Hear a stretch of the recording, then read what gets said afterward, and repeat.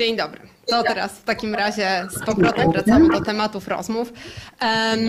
Drodzy maturzyści i licealiści, pamiętam do tej pory, miałam konsultację kiedyś e, z dziewczyną, która stwierdziła, że ona bardzo by chciała pójść na stosunki międzynarodowe, no ale ona przecież nie chce być dyplomatą.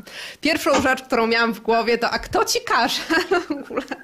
Więc studia e, takie, czyli właśnie stosunki międzynarodowe są fantastycznym przykładem tego, że kierunek nie równa się zawód i że to są studia tak wszechstronne, wszechstronne, dające bardzo różne e, umiejętności, które możemy wykorzystać w wielu dziedzinach e, biznesu i gospodarki.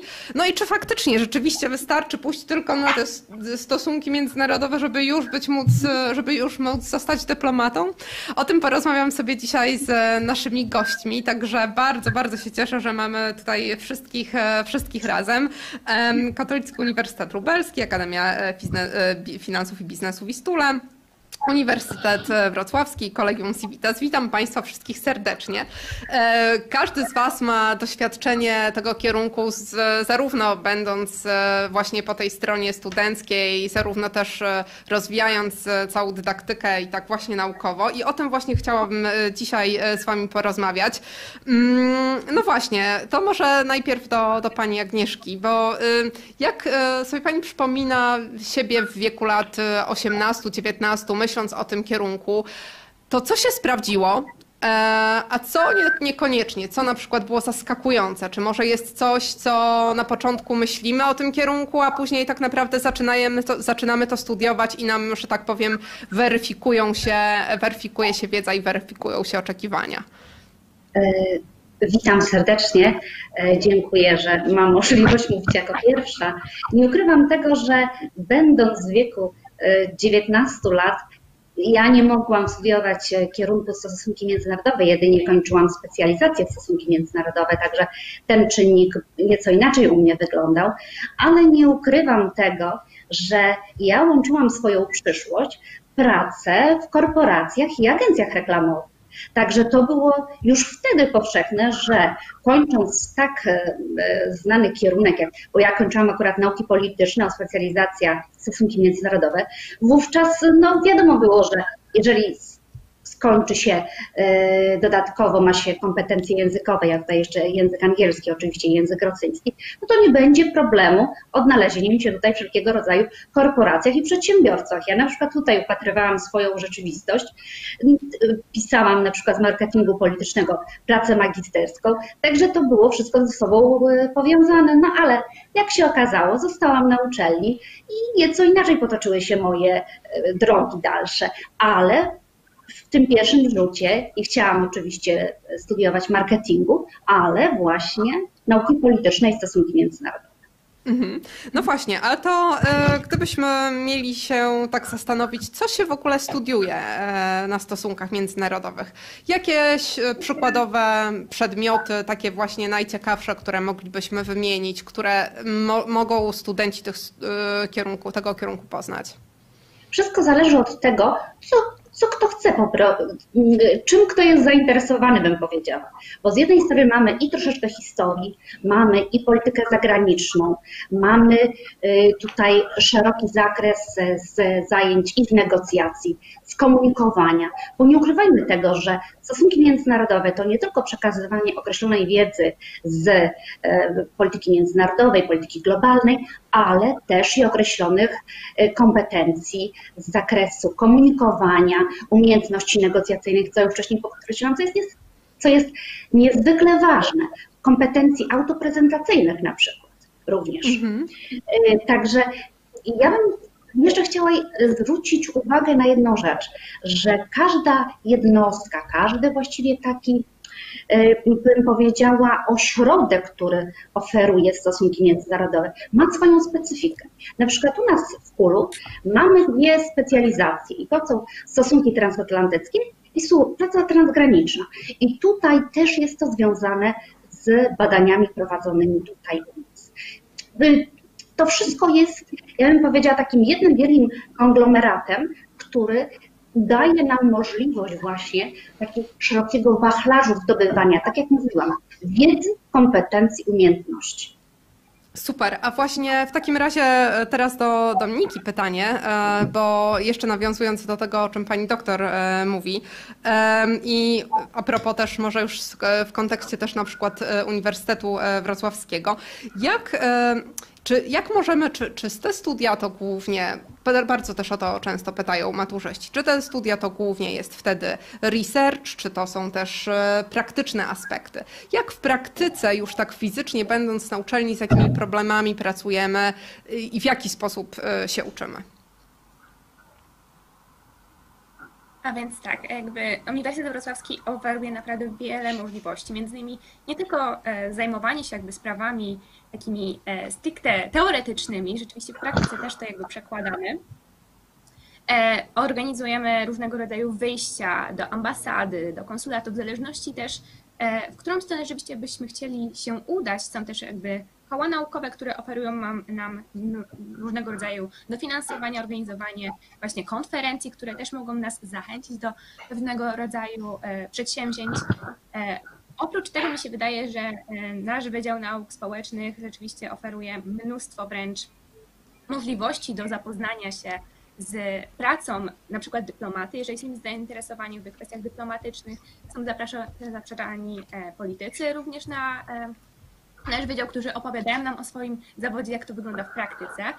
Jak jesteśmy na wyjściach, to również mamy okazję zapytać to właśnie od tej strony technicznej, jak to wszystko wygląda, więc myślę, że Uniwersytet Wrocławski nie ogranicza się tylko do stricte teorii na ten temat, ale również organizuje różnego rodzaju projekty, które też e, sponsoruje, dofinansowuje, które są wysyłane na różnego rodzaju ogólnopolskie konkursy, że e, Myślę, że stosunki międzynarodowe mają szeroki zakres działania nie tylko teoretycznego, ale również praktycznego, które potem się nam to obrazuje między innymi w specjalizacjach i tego, że e, po skończeniu studiach możemy kontynuować swoją oczywiście naukę na stopniach drugiego, e, na studiach drugiego stopnia mhm. E, i możemy szukać pracy tak naprawdę w każdym regionie, w każdym miejscu, gdzie tak naprawdę jest jakikolwiek kontakt ze stosunkami międzynarodowymi, z jakimiś funkcjami międzynarodowymi administracji, e, w prawie też możemy zrobić, jeżeli rzeczywiście weźmiemy sobie specjalizację prawo międzynarodowe e, w instytucjach unijnych, że naprawdę e, myślę, że daje. A co Tobie najbardziej się podoba? Czy jest tak, że jest jakiś kierunek lub zestaw umiejętności, które Ty czujesz, że właśnie stosunki międzynarodowe Ci rozwijają i już wiesz, jakbyś chciała właśnie kształtować to dalej? E, w tym, w tym roku jestem absolwentką, więc naprawdę jestem w tym wszystkim na świeżo i myślę, że rok temu podjęłam decyzję o wybraniu specjalizacji, która rzeczywiście potwierdziła te moje zainteresowania. Akurat ja jestem na specjalizacji niemcoznawstwo. Mamy jeszcze szereg innych specjalizacji właśnie jak gospodarka, europeistyka, zarządzanie komunikacją w mediami i właśnie służby zagraniczne. Myślę, że rzeczywiście ja bym chciała utrzymać te swoje niemcoznawstwo i rzeczywiście uderzać w te kontakty z Zachodem, i ale jednocześnie przy tym połączyć właśnie elementy europeistyki, które również oferuje między innymi moje koło naukowe, do którego należę, które pogłębiło moje e, zainteresowania. Na specjalizacji wychodziliśmy właśnie do e, konsulatu honorowego, który jest akurat we Wrocławiu i Austrii i Niemiec. Rzeczywiście mogłam utwierdzić się w tym przekonaniu, że dobrze wybrałam. Super. To to jest też bardzo duży zakres, który można pokryć, tak? Ten, o którym mówisz a propos uniwersytetu i specjalizacji. I tak się zastanawiam do doktora Rolanda teraz pytanie. A propos właśnie tego, jak często y, nam się kojarzą te stosunki międzynarodowe z byciem dyplomatą i czy rzeczywiście to wystarczy tylko pójść na stosunki międzynarodowe, żeby tym dyplomatą zostać, bo y, raczej nie, ale też y, jakie inne właśnie ścieżki zawodowe, umiejętności e, możemy rozwijać na studiach i po nich. Dziękuję. Ja powiedziałbym, tutaj wpisałbym się w ten głos, który, mm, który moje poprzedniczki wyraziły, że to są takie studia, które rozwijają bardzo wielowymiarowo, zwłaszcza w kontekście globalizacji, którą obserwujemy, która sprawia, że te stosunki międzynarodowe przekładają się na coraz więcej dziedzin życia. Studia z zakresu stosunków międzynarodowych to nauka ekonomii, to nauka prawa, to nauka rozumienie tego, jak funkcjonuje społeczeństwo, także w kontekście różnic międzykulturowych. E, I dzięki temu zyskujemy takie zrozumienie tego, jak funkcjonuje dzisiejszy świat. Co z kolei wydaje się bardzo ważne w przypadku wielu różnych zawodów i dlatego absolwenci, absolwentki stosunków międzynarodowych mogą znajdować zatrudnienie w wielu sektorach i pierwszego, i drugiego, i trzeciego sektora. I w pierwszym, i w drugim, i w trzecim sektorze gospodarki. Jakie kierunki konkretnie, jakie podkierunki, jakie specjalności można wyróżnić w tym obszarze? Uczelnie w Polsce oferują bardzo dużo różnych marketingowych nazw e, tych właśnie specjalności, które są chwytliwe i które próbują przyciągnąć studentów. Natomiast w takim najszerszym zarysie można powiedzieć, że one się dzielą na cztery kategorie. Jedna z nich to jest, to są takie czyste stosunki międzynarodowe dla osób, które chcą E, zgłębiać naturę, teorię tego zagadnienia, które na przykład chcą się też specjalizować w określonych obszarach e, geograficznych, politycznych i temu się poświęcają. Często te osoby później kontynuują swoją karierę na uczelni, robią doktoraty, habilitacje. Druga grupa to można powiedzieć powiązanie, przeplecenie tej, tej znajomości stosunków międzynarodowych ze znajomością międzynarodowego biznesu i tego, jak funkcjonuje gospodarka w skali globalnej, jak funkcjonuje handel globalnie, e, jak funkcjonują inwestycje międzynarodowe i y, duża część studentów, w przypadku naszej uczelni największa część studentów, którzy studiują stosunki międzynarodowe, mają właśnie takie intencje i aspiracje, żeby zrozumieć, jak funkcjonuje świat, zrozumieć, jak funkcjonują stosunki międzynarodowe i potem e, umieć to wykorzystać e, w zakresie międzynarodowego handlu, ekonomii i biznesu. Trzeci taki obszar to jest to, co było już wielokrotnie tutaj wzmiankowane, czyli kwestia dyplomacji. E, to są studia wtedy, które ukierunkowują się na umiejętność, te umiejętności miękkie, na umiejętność rozmowy, rozumienia negocjacji, mediacji. E, to jest także nauka liderstwa i w tym przypadku być może największe znaczenie ma właśnie ten komponent praktyczny. U nas na uczelni pracuje co najmniej kilkunastu byłych dyplomatów, byłych ambasadorów, którzy mm, oprócz tego, że mają oczywiście olbrzymią wiedzę, są erudytami, mm, mają taką e, umiejętność odnalezienia się w każdej sytuacji, odnalezienia się w każdym środowisku, w każdych różnicach kulturowych, nawet jeśli ich nie znają, potrafią potrafią się zaadoptować do każdej sytuacji. I to jest coś, co trzeba praktykować, coś, co, czego można się nauczyć właśnie w kontakcie z takimi ludźmi na zajęciach, które oni prowadzą i które są realizowane w trybie warsztatowym. I czwarty obszar, e, taki nowszy, można powiedzieć, który jest już e, typowy, e, typowy dla współczesnych czasów, tych lat, które teraz mamy, to jest kwestia bezpieczeństwa międzynarodowego, rozumiana bardzo wielowymiarowo, czyli bezpieczeństwo właśnie cyberbezpieczeństwo, bezpieczeństwo energetyczne, bezpieczeństwo klimatyczne. Teraz, jak pokazał ten rok, także bezpieczeństwo e, epidemiczne, epidemiologiczne. E, to jest także kwestia bezpieczeństwa, czy może relacji, czy, czy kwestii związanych z migracjami, więc to jest taka też dziedzina, czy poddziedzina tych stosunków międzynarodowych, która coraz bardziej intensywnie się rozwija. Także, tak jak starałem się to zakreślić, pole rozwoju, pole e, zatrudnienia możliwego później e, jest bardzo szerokie w tym przypadku, właśnie dlatego, że taki też jest charakter tych studiów, bardzo erudycyjny, łączący kompetencje mhm. praktyczne i teoretyczne. To jest bardzo ważna rzecz, czyli właśnie to, jak szerokie, praktyczno-teoretyczne są te studia i tak naprawdę ile różnych dziedzin e, poruszają, prawda? Bardzo dziękuję Pani doktorze za takie bardzo konkretne przedstawienie tego wszystkiego. I właśnie jeszcze też e, bym chciała i jeszcze chyba e, Pani Justyna tutaj gdzieś mi umknęła, widzę, a chciałam zapytać właśnie, w takim razie nawiązując do tego wszystkiego, to komu takie studia moglibyśmy polecać? Kto się na nich odnajdzie i jakie, na co powinien być przygotowany? My generalnie na uczelni Wistula e, kierujemy się taką ideą, żeby nasi absolwenci byli wyposażeni zarówno w wiedzę teoretyczną, jak i wiele umiejętności, które e, później po ukończeniu studiów ułatwią im poruszanie się po rynku pracy, e, w mediach, w biznesie, dyplomacji czy e, w organizacjach pozarządowych. Tej zasady przestrzegamy również na kierunku stosunki międzynarodowe. Mm, I dlatego odnajdą się osoby, które są zainteresowane przedmiotami, które stanowią taki kanon studiów, w ramach stosunków międzynarodowych, takimi przedmiotami jak historia stosunków międzynarodowych i dyplomacji, e, etnopolityka, e, czy na przykład kwestie demokracji, kwestie praw człowieka, globalnych relacji gospodarczych, czy na przykład socjologii polityki. Ale oprócz tego proponujemy również studentom całą e, dużą bazę przedmiotów warsztatowych. I tam odnajdą się ludzie, którzy są przede wszystkim ciekawi świata, otwarci na świat, którzy e, kochają podróże, którzy chcą doskonalić swoje umiejętności językowe. E, mamy na przykład świetne zajęcia na temat wojny światów czy geopolityki, prognozowania wydarzeń międzynarodowych, więc to są zajęcia idealne dla osób, które chcą na przykład uczyć się, jak budować scenariusze przyszłości. E, mamy zajęcia dla osób, które e, są zainteresowane obiegiem informacji w przestrzeni publicznej. E, mamy zajęcia poświęcone dezinformacji, fake newsom, cyberterroryzmowi i uczymy po prostu tego, jak się w tym świecie odnaleźć, jak rozpoznawać na przykład dezinformacje i fake newsy w mediach społecznościowych chociażby.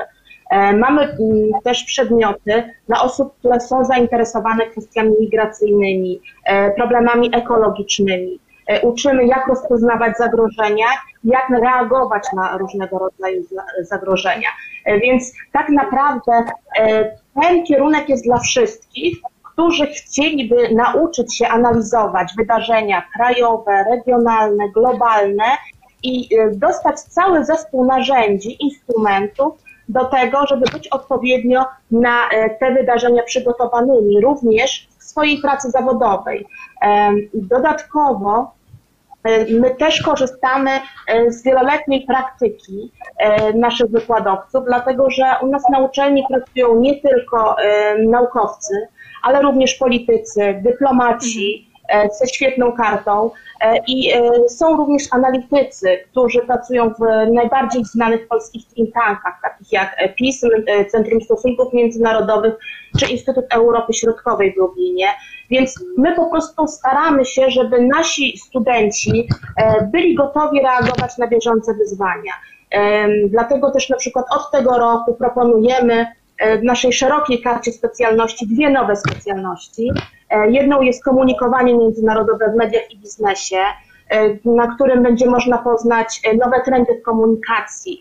W mediach cyfrowych, na przykład poznać narzędzia komunikacji wizerunkowej, która pozwala na zarządzanie polityką wizerunkową osób czy organizacji.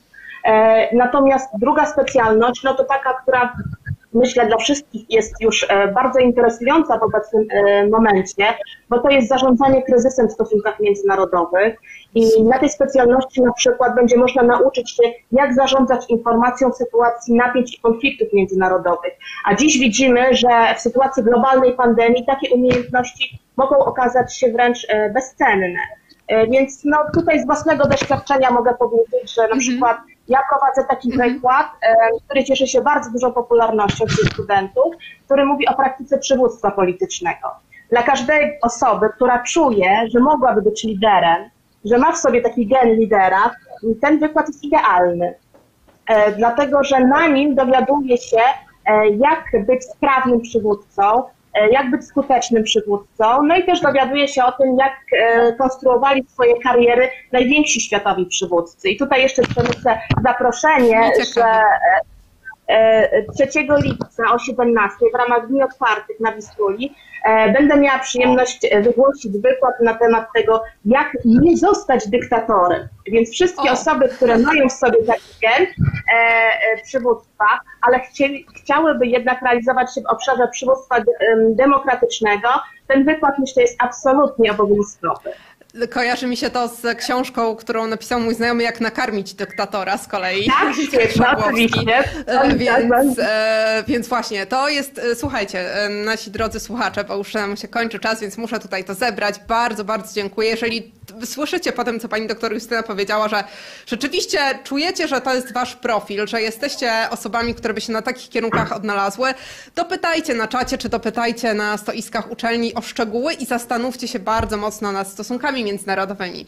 A ja tymczasem bardzo dziękuję naszym prelegentom i przechodzimy e, do kolejnych tematów. Dziękuję. Dziękuję. Dziękujemy.